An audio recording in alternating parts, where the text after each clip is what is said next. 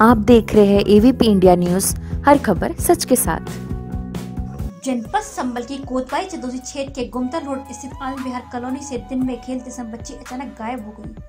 परिवार के लोगों ने काफ़ी तलाश किया, लेकिन बच्ची कहीं नहीं मिली। लेकिन बच्ची की हत्या कर रात्रि के समय शव को ठिकाने लगाने जा रहे युवक को कॉलोनी के लोगों ने पकड़ लिया और पुलिस के हवाले कर दिया। परिवार का आरोप है कि बच्ची की रेप के बाद हत्या की गई है। पुलिस ने शव सील कर पीएम हाउस भेज दिया। एबीपी इंडिया की विशेष कवरेज क्या पूरा मामला क्या घटना हाँ, थाना क्षेत्र में कल एक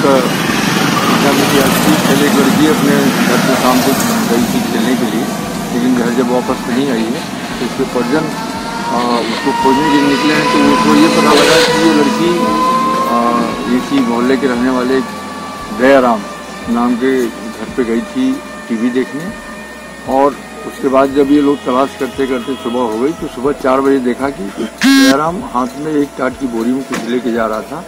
उन लोगों ने दौड़ा के उसको रोका, पूछा तो उसने देखा कि उसकी बच्ची की उसमें लाश मिली है। तब तक उसको उन्होंने पकड़ के तुरंत पुलिस को सूचना दिया है।